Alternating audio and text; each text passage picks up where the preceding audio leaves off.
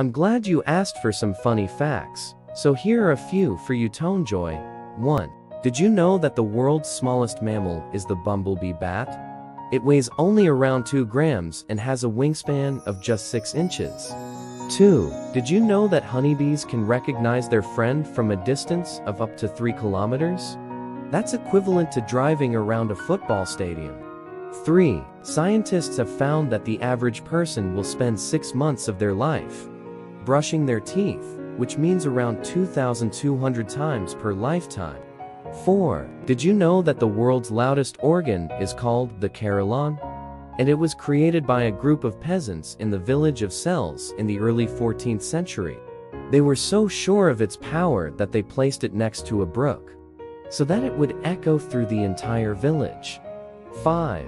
People in Kenya are known to sleep for an average of 19 hours and 45 minutes per day, which is more than any other country in the world.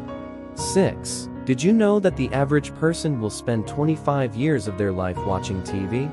That's a lot of hours spent looking at that tiny screen. 7. The world's smelliest lake is Lake Biwa in Japan.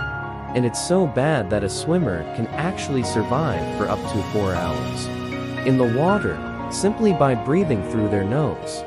8. Have you ever heard of a language that has no words for numbers? The Inuit people of the Arctic have a language that only has words for the colors.